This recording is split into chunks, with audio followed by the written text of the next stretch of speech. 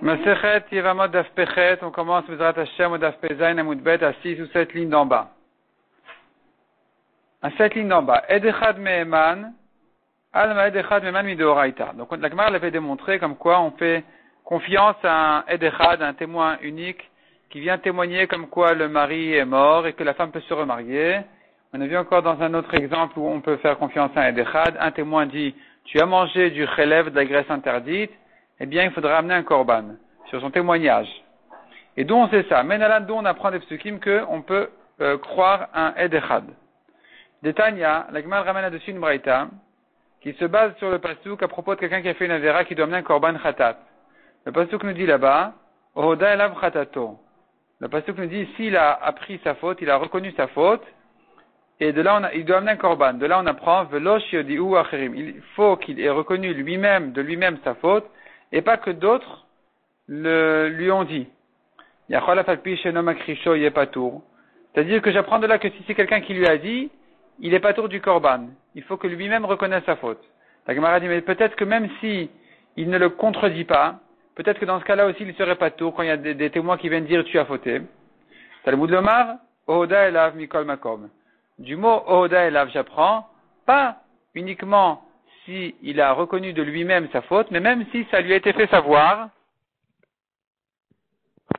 par quelqu'un d'autre, c'est quand même, euh, c'est quand même un, témoignage suffisant pour le rendre chayav d'un korban khatat.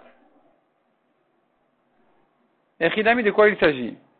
Il est madatout S'il y a deux témoins qui viennent et qui lui disent tu as fauté, et lui ne les contredit pas, Mali. Pourquoi j'ai besoin d'un pasouk pour me dire que quand il, ne contredit pas le témoignage, il est chayav du korban, quand il s'agit de deux témoins contre lui, enfin de deux témoins qui le rendent chayav, évidemment qu'il sera chayav dans ce cas-là, il y a deux témoins contre lui, ou plutôt deux témoins qui l'accusent, et lui ne les contredit même pas.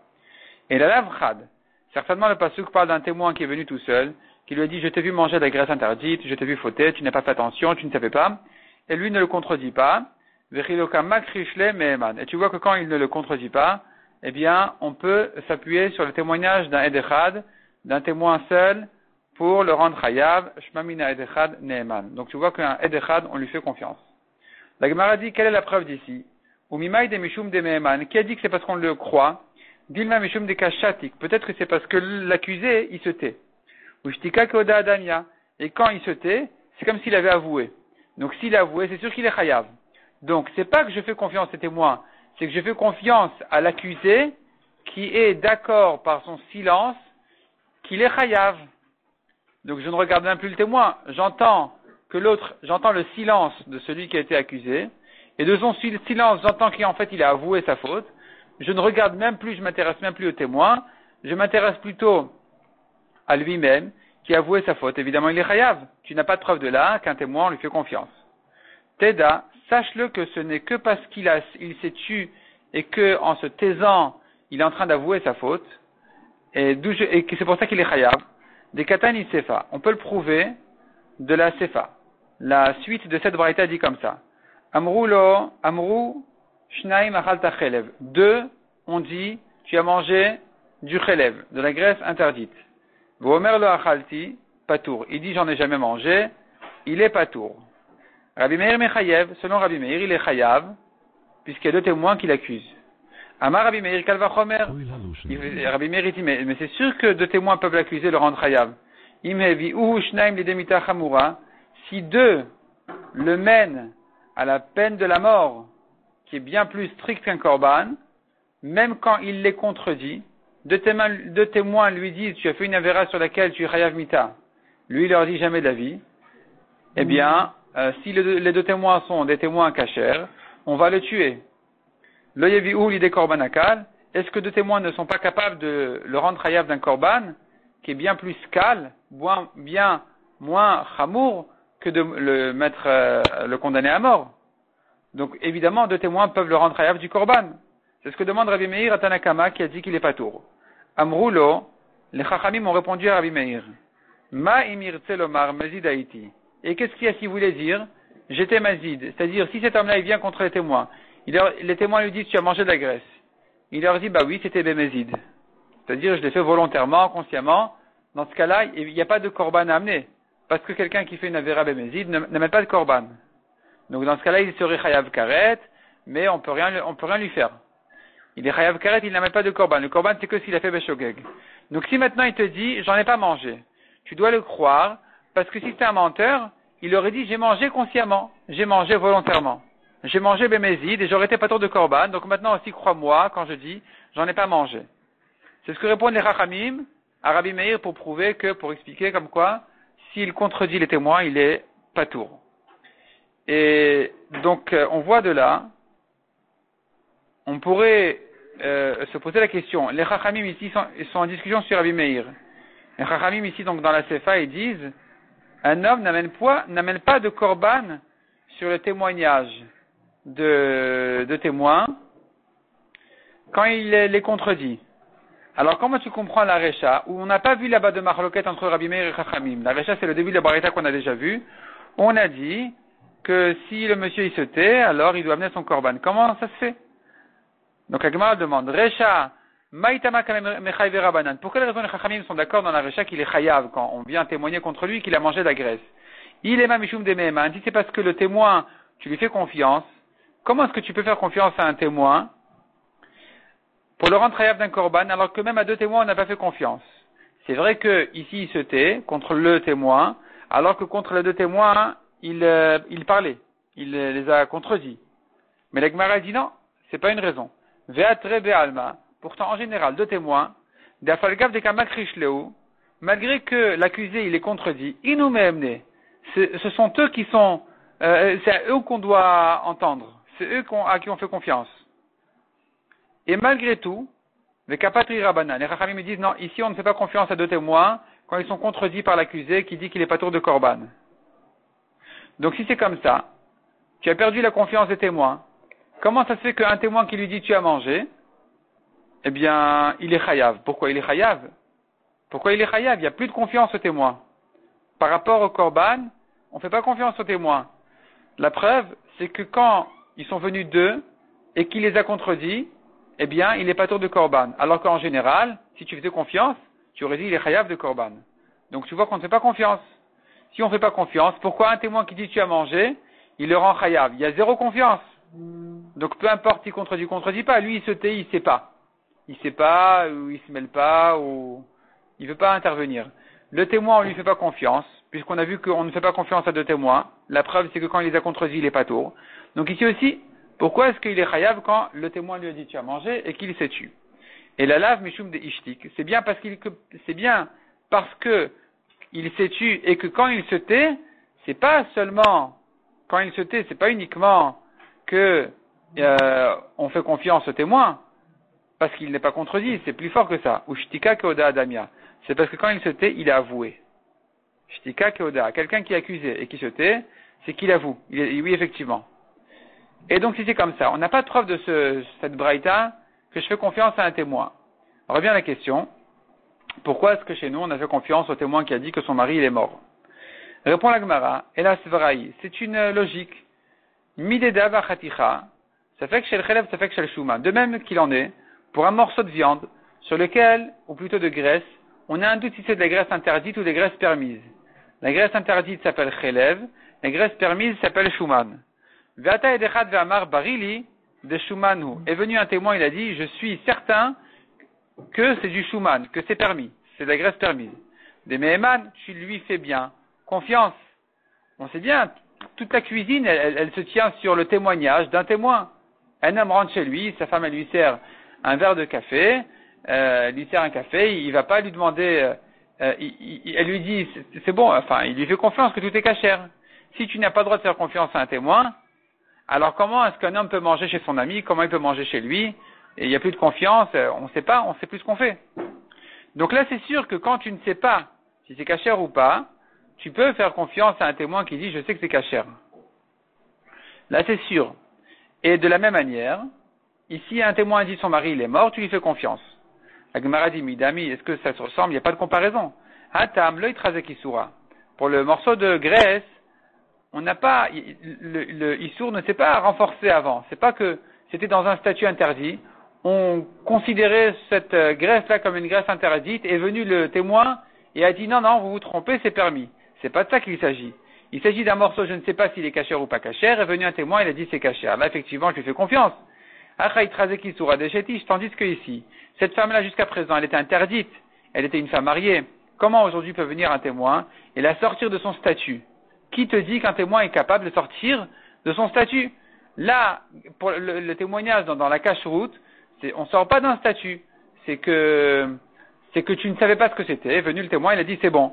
Mais quand tu sais que cette femme est interdite, comment est-ce qu'un témoin est capable de sortir la femme de son statut interdit en disant que son mari est mort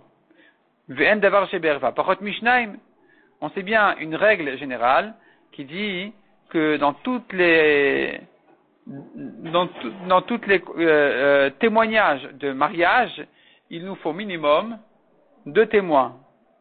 Donc ici, à nouveau, c'est une question de mariage, de permettre une femme, et que donc il faudrait deux témoins, comme quoi elle est, son mari est mort.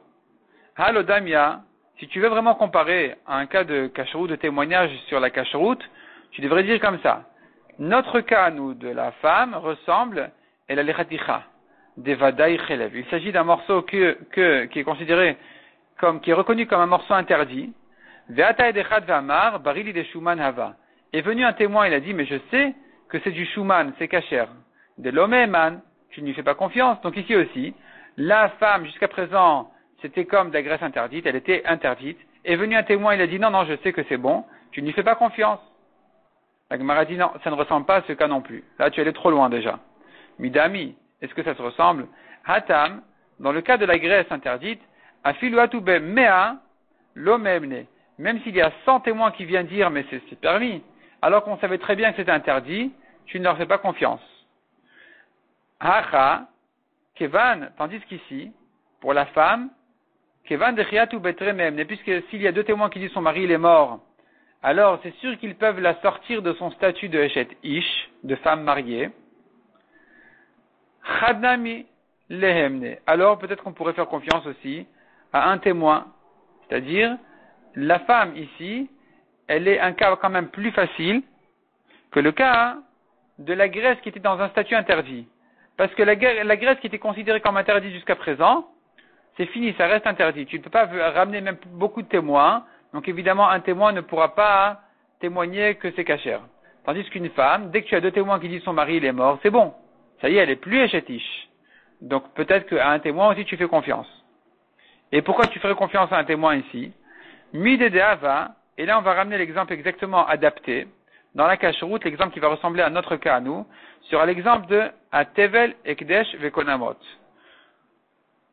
De même que tu fais confiance à un témoin sur quelque chose qui est considéré jusqu'à présent comme quelque chose interdit, et le témoin vient et il dit non, c'est bon, et tu peux lui faire confiance pour le sortir de son statut interdit. La Gemara nous donne trois exemples qui seront en fait repoussés au fur et à mesure. Les trois exemples que la Gemara nous donne, c'est Tevel. Tevel, c'est de la récolte des fruits qui n'ont pas encore été prélevés, donc ils sont interdits. Un témoin dit, c'est cachère. Tu lui fais confiance. Hekdesh, quelque chose qui a été consacré. Vekonamot, ou quelque chose qui était interdit en neder, en konam. Konam, c'est comme un neder, comme on verra ensuite. Quelqu'un dit non, c'est bon, c'est cachère, tu lui fais confiance. La Gemara demande de quel cas exactement, précisément, tu parles. tevel ce tevel en question. De quoi il s'agit? Idide, si ce sont ses fruits à lui-même, il vient et dit c'est cachère, vous pouvez en manger, tu lui fais confiance alors qu'il est en train de sortir ces fruits-là d'un statut de tevel interdit à un statut de fruit cachère. La Gemara dit, c'est pas la preuve pour le cas de la femme. Mishum de biado le. Le tevel, tu fais confiance au témoin parce que le témoin qui est en fait le propriétaire, il peut lui-même prélever, réparer ce tevel en le prélevant. Donc puisque c'est entre, ses mains de le faire, tu peux lui faire confiance que il a vu que ça a été fait, que c'est cachère. Tandis que la femme, le témoin dit, il est mort, on ne dit pas c'était entre ses mains de le mener à la mort. C'était pas entre ses mains de le tuer. C'est pas normal. Donc peut-être qu'ici, il n'est pas Neyman, on ne fait pas, on peut pas le croire. Et là, donc de quel il faut dire, de il s'agit dans le Tevel? Ella de Acher. Il s'agit d'un tevel de fruits qui appartiennent à quelqu'un d'autre, pas au témoin. Et là, le témoin vient dire, ça y est, c'est prélevé, tu lui fais confiance. Pareil pour le témoin sur la femme qui dit son mari est mort. Tu lui ferais confiance. La Gemara dit, Kassavar, que pense, qu'est-ce que tu penses sur ça? I Kassavar, Torem, Michel al Si tu penses à propos de la question de quelqu'un qui ferait les prélèvements de ses propres fruits sur les fruits de son ami. Il a un voisin, il veut réparer les fruits de son voisin en prélevant de ses propres fruits à lui-même. Est-ce que c'est valable ou pas valable? Si tu dis que Torem Michelal Shel celui qui prélève de ses propres fruits sur les fruits de ton ami, et notre dat be'alim, n'a pas besoin de prévenir le propriétaire, alors je pourrais te dire ici aussi, quand il témoigne sur les fruits de quelqu'un d'autre qui sont cachers, à nouveau, c'est bien parce que c'est entre ses mains, des biado, les takno, c'est entre ses mains de les réparer. Donc, tu lui fais confiance de dire, ça y est, ça a été réparé. Tandis que le, mari, le témoin qui dit son mari est mort, c'était pas entre ses mains de le tuer, donc euh, on ne lui ferait pas confiance. Veika savar. Et s'il pense, sarir dat be'alim, que quelqu'un qui prélève de ses propres fruits sur les fruits de son ami, il faut prévenir son ami. Ve'amar, et que maintenant il vient et dit, taken, je sais bien que ça a été réparé, que ses fruits sont cachers, et tu lui ferais confiance, alors que ce n'est pas entre ses mains de le faire. Et de la même manière, tu ferais confiance au témoin que le mari est mort. La Gemara dit, mais higufa menalan. Qui sait qui t'a dit que tu lui fais confiance dans ce cas-là? Pourquoi ça t'est tellement évident à tel point que tu prouverais d'ici, c'est-à-dire du cas du prélèvement, tu prouverais euh, sur le cas de, du mari tu te bases sur un cas qui n'est même pas prouvé Ekdesh Nami, le deuxième exemple qu'on a ramené, c'est le cas du Ekdesh. Le cas du Ekdesh, c'est-à-dire quelque chose qui a été euh, consacré, qui a été Ekdesh. Et là est venu un témoin et dit non, non, c'est bon, il n'y a pas de problème, vous pouvez en profiter, c'est pas Ekdesh. Ikdushat Damim, de quoi il s'agit? S'il s'agit d'une Kdusha sur, qui se rapporte que sur la valeur, donc pas parce qu'il faut toujours distinguer entre Kedushat Damim et Kedushat Agouf. Il y a Kedushat Damim, c'est-à-dire quelqu'un qui a euh, consacré euh, sa table, c'est pas qu'on va maintenant sacrifier sa table au Mizbeach. C'est que la table, elle a de la Kedusha pour sa valeur. C'est-à-dire, la, table en tant que valeur de table, elle a de la Kedusha. Tant qu'elle n'a pas été rachetée, la Kedusha pose sur la table elle-même, mais ce n'est qu'une Kedusha de valeur. Et si c'est de ça que tu me parles, que quelqu'un est venu témoigner sur un Ekdesh comme celui-là, qu'il n'est pas Ekdesh, tu lui fais confiance évidemment, Mishum de Doto, car c'est entre ses mains de le racheter. Ce qui n'est pas le cas pour le témoignage sur la mort du mari. Et s'il s'agit d'une Kdushat Agouf, c'est comme quelqu'un, c'est-à-dire il y avait euh, une vache qui a été consacrée comme Korban, Korban Shlamim par exemple, est venu un témoin a dit non, non, c'est pas Corban, et tu lui ferais confiance, alors que c'est peut-être pas entre ses mains. Alors la Gemara dit, idée, si c'est à lui, la vache, Mishum de aller. C'est bien parce que c'est entre ses mains, les itchoule, de demander, de demander au Rav de lui annuler son éder, et donc d'annuler complètement le Ekdesh, et sa vache n'est plus Ekdesh du tout, puisque c'est entre ses mains de le faire, on le croit que ce n'est pas Ekdesh. Il pourra dire, non, non, vous vous trompez, cette vache n'est pas Ekdesh. Ce qui n'est pas le cas à nouveau pour le témoignage sur le mari, qui n'est pas entre les, mains du, entre les mains du témoin de euh, tuer le mari. Et là, Deacher, le cas qui nous peut-être servirait de preuve serait le cas de quelqu'un qui vient témoigner sur le Ekdesh de quelqu'un d'autre. Là, c'est plus entre ses mains d'annuler le Ekdesh. Il vient témoigner et dit, moi je sais bien que le propriétaire a annulé son Eder, son Ekdesh, et donc il n'y a pas de problème, c'est plus Ekdesh. Et là, tu fais confiance au témoin, alors qu'il est en train de sortir ce Ekdesh-là de son statut, alors que ce n'est même pas entre ses mains de le faire, de la même manière tu feras confiance à celui qui témoigne sur le mari qu'il est mort. La Gemara dit, mais, mais qui t'a dit qu'on lui fait confiance? Pourquoi c'était tellement évident? Et enfin, troisième cas qu'on a dit, Konamot Nami. On se référait au Konamot. Konamot, c'est un genre de Neder. Et un témoin vient dire, non, non, il n'y a pas de problème, c'est pas Konam, c'est pas Neder. C'est pas interdit. Si il pense que Yeshmeila Bekonamot, celui qui a profité d'un Konam, c'est comme s'il a profité d'un Ekdesh, et donc il est rayab de Korban Meila, ou Kudushat Damim Nartaleu. Il y a une Kudushat Damim qui se pose sur ces Konamot. Quelqu'un qui a dit, Konam, ma table sur moi, Konam, ma table sur moi, c'est un langage, une expression de Ekdesh, d'après cet avis-là, et donc, celui qui en profite, il est rayab de Meila, comme quelqu'un qui profite du Ekdesh. Et là viendrait quelqu'un dire, non, non, il n'y a pas de problème, c'est pas Ekdesh, c'est pas Konam plutôt, tu lui ferais confiance. La Gemara dit, mais non, c'est pas la preuve, parce que Mishum de Biyadol Doto. Si tu dis que Konam c'est comme Ekdesh, c'est entre ses mains de n'importe qui de racheter ce Ekdesh. Donc, on peut lui faire confiance. Alors que le mari, qui est mort, hein, le témoin dit il est mort, c'est pas entre ses mains. S'il pense qu'il n'y a pas de Meila pour un Konam, le Konam n'est pas une question de Ekdesh du tout. C'est une question de neder, c'est un vœu, c'est interdit. C'est comme si disait, je me suis interdit en neder de ne pas profiter de ma table. Veisur be'alma ou Ce n'est qu'une interdiction qui pose sur ses épaules et pas une question de Ekdesh. Alors, il dit, si c'était à lui-même, l'objet, la table, Mishum de Biadolit qu'il est Neeman, ce qu'on lui fait confiance de dire que c'est pas, c'est pas Konam, c'est parce qu'il peut annuler son Eder, son Konam. Il va chez le Rav, le Rav lui annule le Konam, donc tu peux lui faire confiance que c'est pas, c'est pas Konam. Ce qui n'est pas le cas à nouveau pour le mari qui est mort. Et là, de Acher. Non, il faut dire que c'est pas lui-même. Le témoin n'est pas le propriétaire.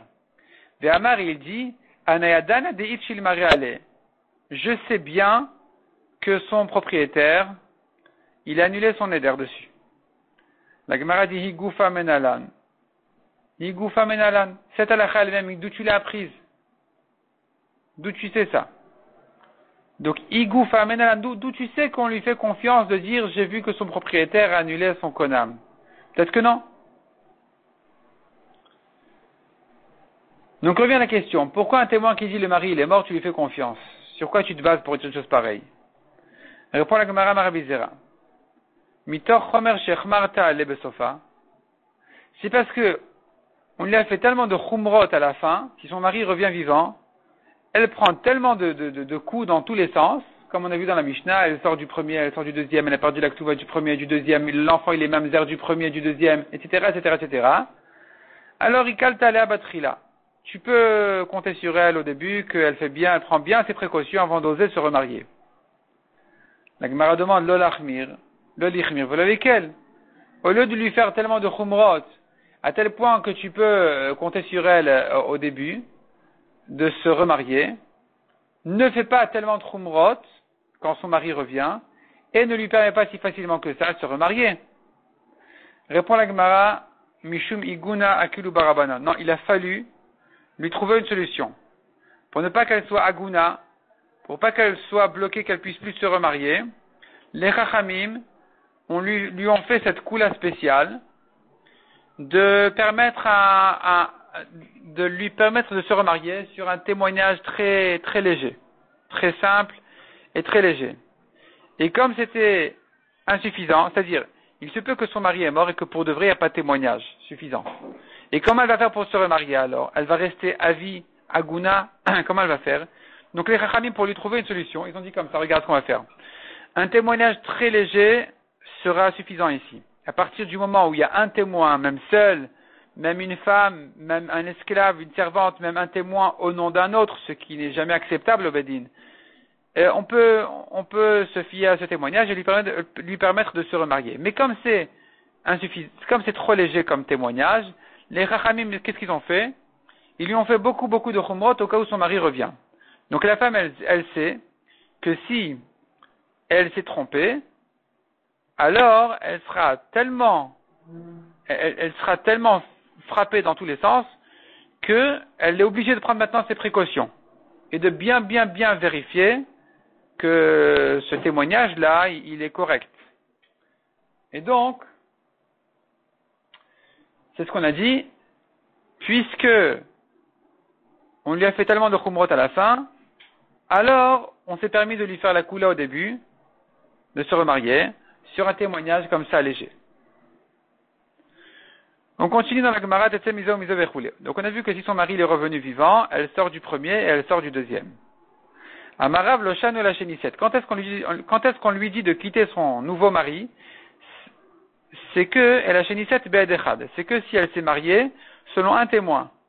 Mais s'il y a deux témoins qui ont dit que son mari est mort, et voilà que son mari est revenu vivant, elle n'a pas besoin de quitter le nouveau mari. Elle peut dire à son ancien mari, je suis désolé, j'ai deux témoins que tu es mort, donc tu ne peux pas m'empêcher de rester chez mon deuxième mari, sachant que, selon le témoignage, tu n'es pas vivant. Donc l'autre elle ne sort pas dans ce cas-là. Machachu alebe ma'arava. En Eret Israël, on riait de cette halakha. Qu'est-ce que ça veut dire ça? Ata gavra vekai. L'homme vient et le voici. Veat amrat l'otete. Et toi tu dis, elle ne sort pas, il y a son mari qui est là devant nous, et on lui dit non, non, désolé monsieur, tu es mort. Nous avons deux témoins, tu ne peux pas les contredire, donc euh, tu es mort, il n'y a rien à faire. Euh, euh, la femme, elle reste chez le, nouveau mari. Elle est veuve. la Gemara dit, mais comment tu peux dire une chose pareille?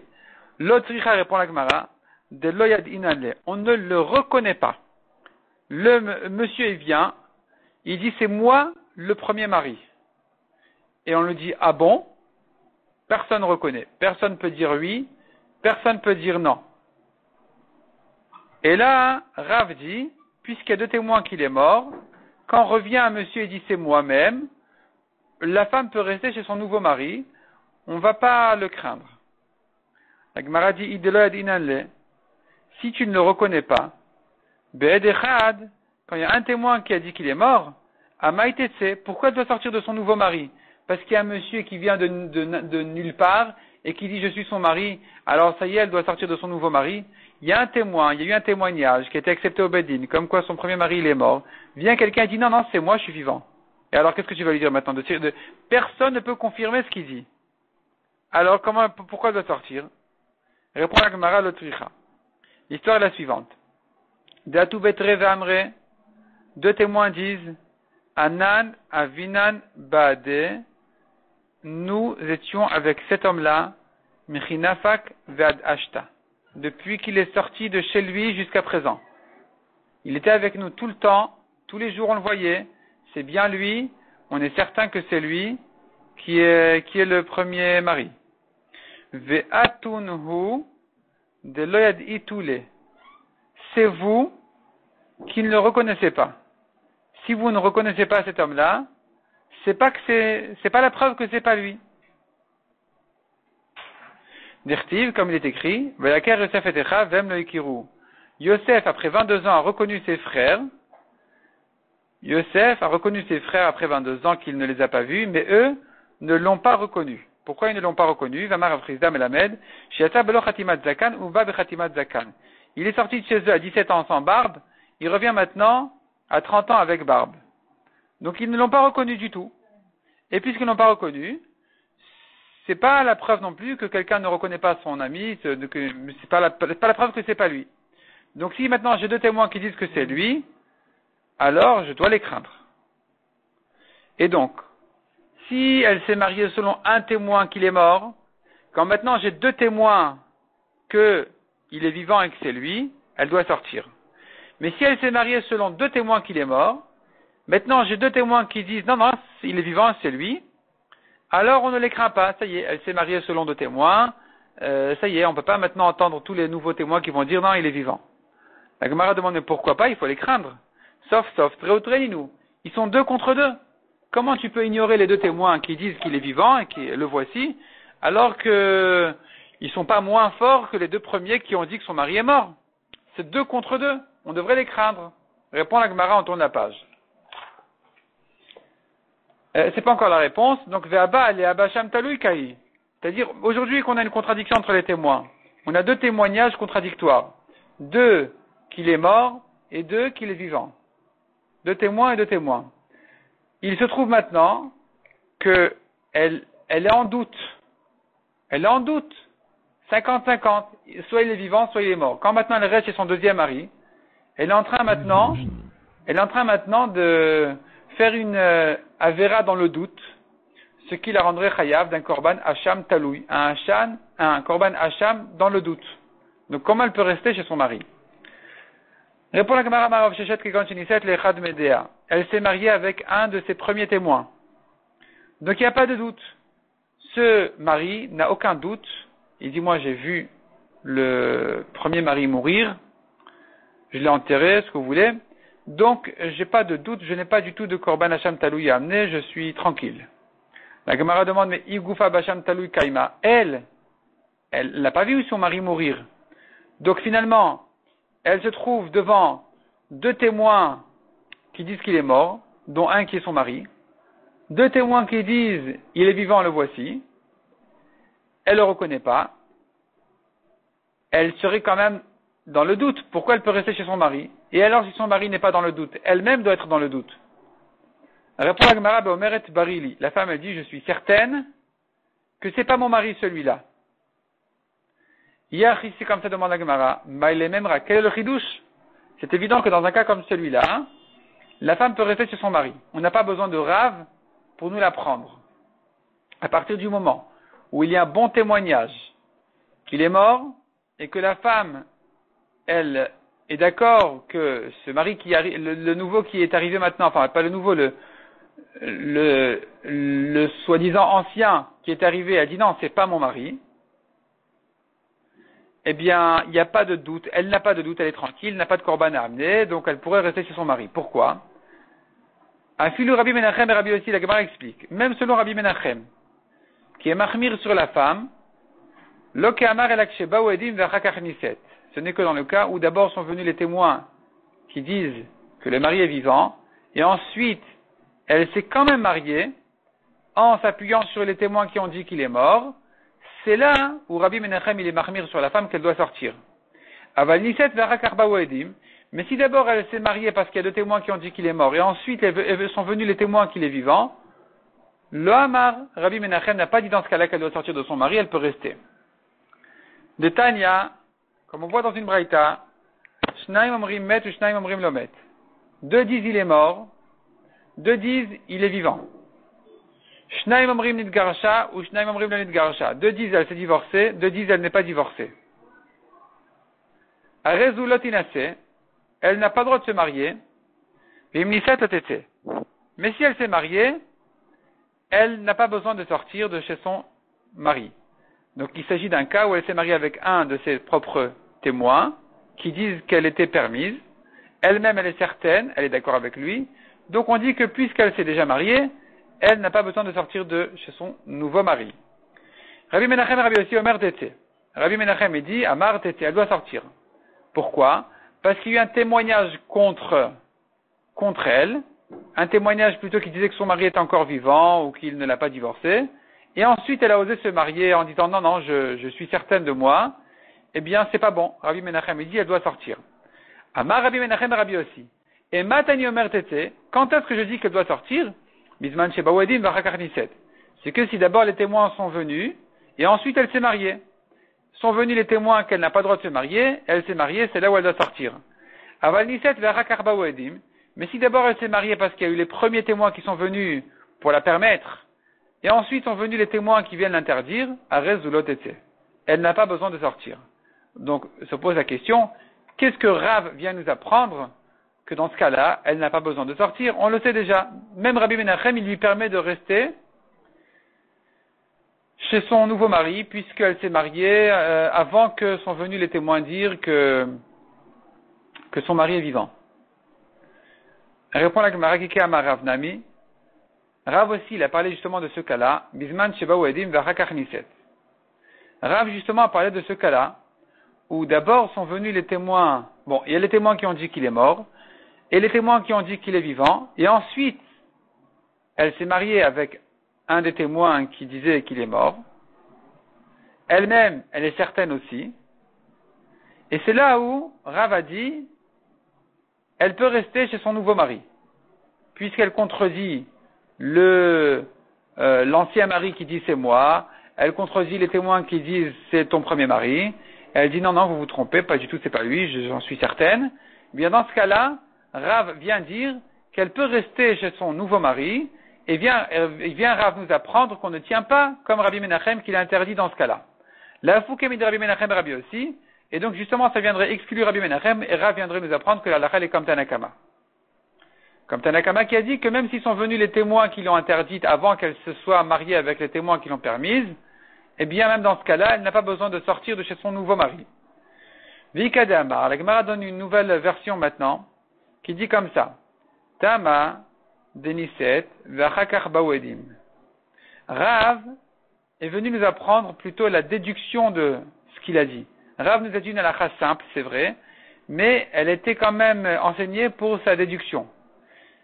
Tama deniset vachakar bawedim. Quand est-ce qu'elle peut rester chez son nouveau mari? C'est que parce qu'elle s'est mariée et qu'ensuite sont venus les témoins qui ont dit mais voici ton mari. Elle dit non, non, c'est pas lui. Là, elle peut rester. Aval Mais dans le cas où d'abord sont venus les témoins qui l'ont interdite en disant mais il y a ton premier mari qui est revenu, et ensuite elle est allée se marier quand même avec un nouveau mari, là, tetse, elle doit sortir du nouveau mari. Keman, qui Rabbi Menachem Rabbi aussi. Selon cette version, Rav penserait plutôt comme Rabbi Menachem qui ont dit que quand elle s'est mariée alors qu'il y avait déjà les témoins qui l'ont interdite, eh bien, elle doit sortir de son nouveau mari. Metiv Rava. Objecte d'une braïta qui dit Minain sheim lorata dafno. D'où on sait que s'il n'a pas voulu, on le frappe. On parle d'un Kohen qui doit respecter sa propre kdusha en faisant attention à toute toum'a d'un mort et aux femmes qui lui sont interdites. Et le Kohen ne veut pas respecter sa propre Kdusha, il veut se marier avec des femmes qui lui sont interdites comme Kohen, il veut rentrer au cimetière. D'où tu sais que si il ne garde pas sa propre Kdusha, tu le frappes, tu l'empêches. Talmud Omar Vekidashto, la Torah dit tu le sanctifieras. Be'al korcho, qu'il veuille ou qu'il veuille pas, toi le Beddin, tu l'obliges à garder sa propre Kdusha. Echidami de quoi il s'agit? Il est Madalonisset. S'il s'agit d'un Kohen qui s'est marié avec une femme et de l'Onisset le Medea. C'est pas avec un de ses témoins qu'elle s'est mariée. Velo Amra Barili, elle n'a pas dit j'en suis certaine.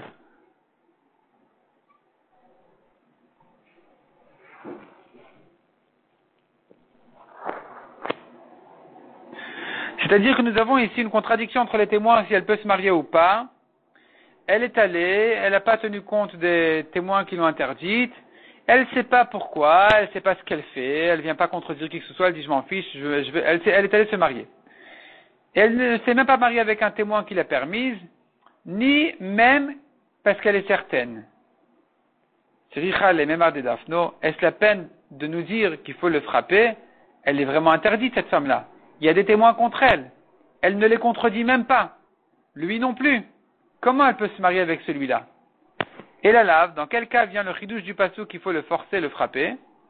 Il s'agit d'un cas d'Enisset le Chad Medea, qu'elle s'est mariée avec un des témoins qui sont pour le remariage. Le Kamra, et elle-même elle a dit aussi, Barili, j'en suis certaine, je suis certaine que je peux me marier avec lui. Veketane, Daphno, et il est écrit ici, qu'il faut le, le frapper. Alma mafkin éliminé. Donc tu vois de là qu'il faut lui sortir sa femme de chez lui. Alors Rachid nous explique exactement de quel cas il s'agit. Voyons Rachid ici côté gauche. Et la lave kai gavna. Et la lave kaf he gimel. Et la lave kai gavna. De quel cas il s'agit ici? Elle s'est mariée avec un de ses témoins, qui était pour le remariage, qui ont dit son mari est mort. Ensuite, donc elle s'est mariée maintenant avec un Kohen, qui témoignait que son premier mari est mort. Ensuite, Bawedim Shayachai Botasha. Sont venus des témoins qui disent, mais quand elle s'est mariée, son premier mari était encore vivant, ou met. Ensuite, il est mort. Mais au moment du mariage, elle était encore Echet Ish, donc elle était interdite à ce nouveau mari Cohen. Et si c'est comme ça, il se trouve qu'elle était chez lui alors en rapport interdit, qui font d'elle une zona qui interdit un Cohen. zona. Et lui, le Cohen, ne veut pas la sortir comme une zona. C'est là on le frappe. Tu vois qu'il faut le frapper. Vekashi alerav, donc je suis toujours dans Rashi. Vekashi alerav, c'est une kasha pour Rav qui a dit que il n'y a pas, a pas de problème, elle peut rester chez lui. Elle peut rester chez lui puisqu'elle s'est mariée euh, avec un témoin et qu'elle aime, elle est certaine. Alors dans ce cas-là, elle peut rester chez lui. Ici, on voit que non. Ici, on voit qu'on le frappe pour le sortir. Rachid explique pourquoi il s'agit d'un cas de deux témoins. Euh, donc, donc, en tout cas, Rachid vient démontrer qu'il s'agit exactement du cas de, de Rav. Mais en tout cas, l'objection est claire sur Rav. Rav a dit, elle peut rester chez son nouveau mari, dans ce cas-là. Et ici, on voit que non, il faut frapper le Cohen pour qu'il la sorte. Donc, je reviens à la Gemara, à la première grande ligne. Alma maskin alamine. Tu vois bien de là qu'il faut la euh, sortir de chez son mari. Répond la Gemara, première réponse, Isur Keuna Shani. Quand il s'agit des interdictions du Kohen, des Kohanim, on on fait plus attention, on est plus strict avec lui, donc dans ce cas-là, il doit la sortir. Mais en général, elle peut rester. Puisqu'elle s'est mariée avec son témoin et qu'elle est certaine, elle peut rester. Tema, deuxième réponse, tu veux, je te dis, Maï Dafno, Dafno Bedim. Qu'est-ce que ça veut dire tu le frappes C'est pas que tu lui donnes des coups de fouet. C'est pas que tu le frappes vraiment. Dafno Bedim, tu le frappes avec des témoins. Ça veut dire, va chercher des témoins qui vont annuler le premier témoignage et qui vont complètement euh, euh, déséquilibrer, annuler rétroactivement le premier témoignage qui a dit, qui disait les témoins, comme quoi il était déjà mort. Et quand maintenant tu arriveras à prouver que c'était des menteurs, alors là c'est sûr qu'il ne pourra pas rester avec elle. Donc le Bedin doit faire attention, doit se fatiguer à rechercher des témoins qui viennent, euh, qui viennent contredire les premiers témoins qui voulaient la permettre, afin de sanctifier le Cohen, qu'il ne reste pas avec cette femme-là, qui est apparemment interdite. Parce que quand elle s'était mariée avec lui, son mari était encore vivant. Peut-être, d'après les témoins qui sont contre lui. Mais c'est pas qu'elle doit sortir. Simplement, le Bedin doit se fatiguer à bien, bien, bien vérifier que le, euh, premier témoignage est vraiment, valable, parce que dès qu'on peut trouver des témoins qui vont euh, le contredire, on va les amener. Viba Itema, troisième réponse. Chez Bawadim Niset. Il s'agit d'un cas où d'abord sont venus les témoins, et ensuite elle a osé se marier. Vers Rabbi Menachem Rabbi aussi, et ça va comme Rabbi Menachem Rabbi aussi qui a dit que dans ce cas-là, effectivement, elle doit sortir de son mari. Donc ici aussi, il s'agit d'un cas où il y avait les témoins, les pour et les contre. Elle est allée se marier avec un témoin qui était euh, pour, et ce témoin-là était Cohen. Il s'avère euh, ensuite, ou pas, où il y a des témoins qui disent qu'il était encore vivant, même s'il est mort ensuite, son premier mari, eh bien, euh, dans ce cas-là, elle doit sortir de son premier mari. C'est là on dira, tu le frappes pour qu'elle sorte de chez lui. Et ça va comme Rabbi Menachem qui a dit, que si elle s'était mariée avant que sont venus les témoins contre, encore elle aurait pu rester. Mais comme elle s'est mariée après que les témoins contre sont venus, alors elle doit sortir. Ravashi Omer, Ravashi Omer, Maïlotete de Kamarav. Ravashi revient un peu en arrière et dit, qu'est-ce que vous voulez dire Rav par l'otete Donc, la question était, son mari est revenu, vivant, puisqu'elle s'est mariée selon deux témoins qu'il est mort, elle peut rester chez son nouveau mari. Et on a dit, mais attends, son mari, il est devant nous. Qu'est-ce que ça veut dire? Qu'est-ce que ça veut dire qu'elle peut rester chez son mari? Il y a le mari qui est là, l'ancien mari, il est là devant nous. Répond la Gemara, l'otete metera rishon. Elle ne sort pas mais de son premier éther. Elle avait le droit d'être chez son premier mari, elle retourne chez son premier mari. Alors que s'il y avait qu'un seul témoin qui avait dit qu'il était mort, elle aurait dû sortir du premier et du deuxième. Maintenant qu'il y a deux témoins qu'il est mort, alors quand il revient, on ne la punit pas parce qu'elle n'a rien fait de mal en se remariant et elle peut revenir chez son premier mari, évidemment s'il n'est pas Cohen. Demande la Gemara Amara Rav Rav a déjà dit cette halakha, on l'a déjà apprise. Detnan, Niset Shelo Birshut, Muteret lachzorlo. Rav a déjà dit sur la Mishnah qui a dit, une femme qui s'est mariée sans avoir besoin de passer par l'autorisation du Badin, c'était évident, il y avait deux témoins que son mari est mort, elle est allée se marier, elle peut revenir maintenant chez son premier mari s'il s'avère qu'il est vivant. Et Rabuna dit au nom de Rav, c'est comme ça la Donc nous avons deux enseignements de Rav qui vont finalement dans le même sens. Pourquoi cette répétition? Répond la Gemara, Effectivement, il y a un enseignement qui a été ramené déduit de l'autre. Rav a parlé une seule fois. Rav, il a donné un enseignement, et de là, on a déduit l'autre. Les deux vont dans le même sens, que s'il y a eu deux témoins que son mari est mort, et qu'elle s'est mariée, elle remariée, finalement son premier mari il est vivant, et c'est bien clair qu'il est vivant, il n'y a pas, il y a personne qui vient le contredire, eh bien dans ce cas-là, elle revient chez son premier mari. C'est ça ce que Rav voulait dire par l'OTC. Elle ne sort pas de son premier mari, elle retourne chez son premier mari. Itmar Amar Shmuel. Euh.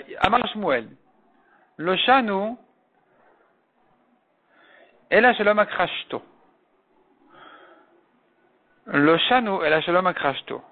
Notre Mishnah qui a dit qu'elle doit sortir du premier et du deuxième, c'est que si elle ne contredit pas le premier mari qui vient, qui revient vivant. Aval Mais si elle contredit son premier mari, elle dit non, c'est pas toi, tu es un menteur, tu n'es pas mon premier mari. L'otetse, elle peut rester chez son nouveau mari. Bemayaskina, de quoi il s'agit? Il est ma bébétré. S'il y a deux témoins qui disent, mais c'est son mari, qui m'a les quand elle le contredit, qu'est-ce que ça peut bien faire? Elle ne peut pas contredire de témoins qui disent que c'est son mari. On ne va pas la croire. Elle a Bechad. Il faut dire non, c'est un témoin qui dit que c'est son mari et elle le contredit. Tam Makrashto. La raison pour laquelle elle peut rester chez son nouveau mari, c'est parce qu'elle contredit le premier mari.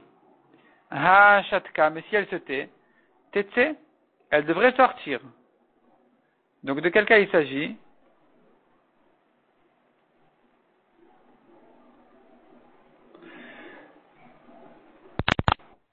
Un témoin avait dit il est mort, si deux témoins disent il est vivant, c'est sûr qu'elle doit sortir.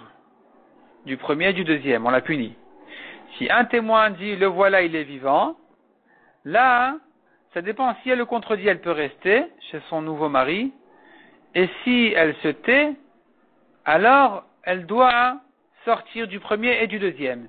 Pourquoi elle doit sortir du premier et du deuxième? Pourtant, on a eu un premier témoin qui a dit qu'il est mort. Ce premier témoin, quand tu lui as fait confiance que son mari est mort, il était considéré comme un témoignage parfait. Et donc maintenant, quand vient un témoin dire mais il est vivant, le voici, tu ne dois pas le croire parce que c'est pas, il n'a pas la force d'un témoignage parfait. C'est ce qu'explique la Gemara maintenant. Ve'amaroula, pourtant Oula nous a dit, Partout où la Torah a donné confiance à un témoin, il est comme deux. Et un ne peut plus le contredire. Donc c'est exactement le cas ici. Un dit il est mort, il est comme deux. Un dit il est vivant, il n'a plus la parole contre ces deux-là. Contre plutôt ceux deux-là. Répond la Gemara, de quoi il s'agit. Il s'agit que le premier témoin qui a dit que son mari est mort n'était pas un témoin cachère, il était un témoin pasoul comme une femme. Simplement pour la marier, elle est bien. le témoin, on peut lui faire confiance même si c'est une femme.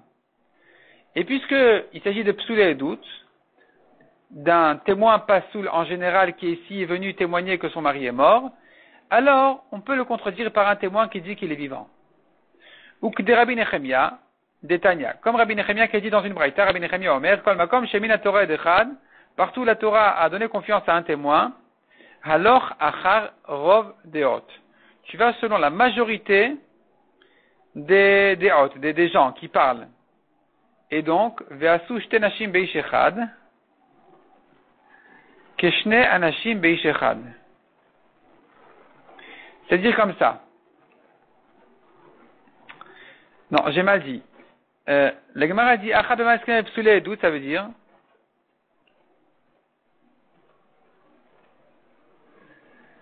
Rashi explique, voyons Rashi ici à, gauche, ici, euh, Askinan. Dans quel cas je dis que si elle le contredit, elle peut rester, Rashi dit déjà, voyons le Rashi d'avant, Acha. Dans quel cas on a dit que si elle le contredit, que si elle contredit les témoins qui disent qu'il est vivant, elle ne sort pas, il s'agit de témoins psulim. Il s'agit de deux témoins. Kegon krovim, onashim, atubade. Il y a des proches de famille ou des femmes qui viennent avec, des amrés qui disent Zéou, qui disent le voici, c'est son mari. Mais Kamash Malan Shmuel, Shmuel nous apprend, de Azlinan Batar Rov Deot, qu'on va selon la majorité des, des, des parleurs ici, puisqu'il n'y a aucun témoignage kasher. Donc, de quel cas il s'agit ici? S'il y avait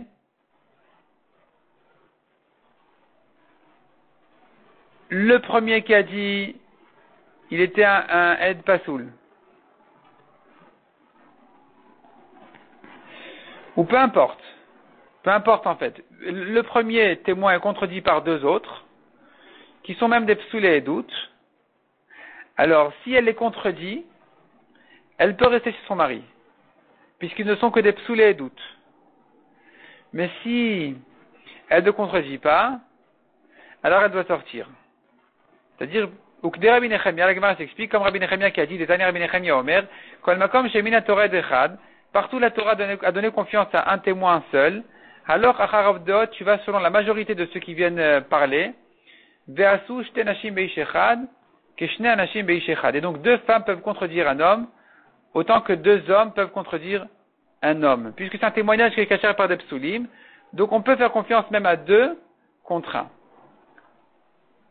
ou bien dit l'agmara, peut-être qu'on pourrait dire quand même pas, pas, on va pas si loin que ça, si le premier témoin qui a dit qu'il est mort, il était un Ed Kacher, un homme,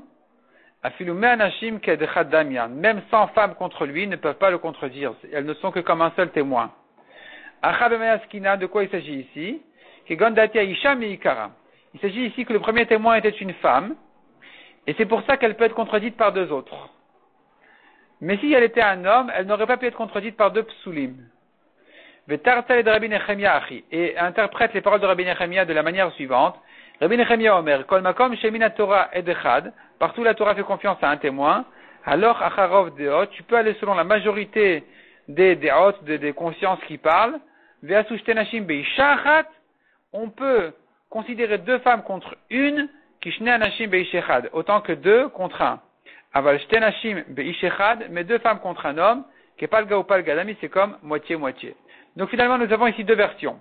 Selon la première version, peu importe si le premier témoin était homme ou femme, dès qu'il était contredit par deux, tu crains les deux. C'est pour ça qu'elle devrait sortir. Deux témoins, un témoin a dit il est vivant, deux témoins ont dit, deux témoins, même Soulim ont dit, euh, pardon, un témoin a dit il est mort, pardon. Un témoin, un premier témoin a dit il est mort. Deux témoins ont dit il est vivant alors tu dois croire les deux témoins. C'est là où Shmuel a dit que c'est là où Shmuel a dit que si elle est contredite, ça va, parce qu'ils sont de toute façon les deux derniers témoins qui disent qu'elle est vivante, ils sont des psulim. Donc si elle est contredite, elle n'a pas besoin de sortir de chez son mari. Mais si elle se tait, elle doit les craindre.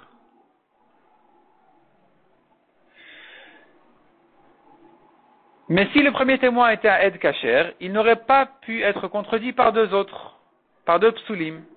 Donc le premier témoin qui a dit son mari est mort, euh, même si ensuite sont venus deux témoins dire qu'il est, il est, euh, deux témoins sont venus ensuite dire qu'il est vivant, alors, d'après la première version de Shmuel, puisque peu importe le premier témoin s'il est Kacher ou pas, on croit les deux contre le premier, il n'a pas plus de force que les deux autres, même s'il est un homme ou il est un cachère, puisqu'il est, tout seul et qu'il est contredit par deux, on doit craindre les deux. Selon par contre la dernière version de Shmuel, eh bien, c'est pas comme ça. Selon la dernière version de, de, Shmuel, on dira que si le premier témoin il est cachère, alors on lui fait confiance plus que deux psulim. Si par contre c'était un pasoul comme une femme, Dans ce cas-là, elle peut être contredite par deux autres qui disent qu'il est vivant.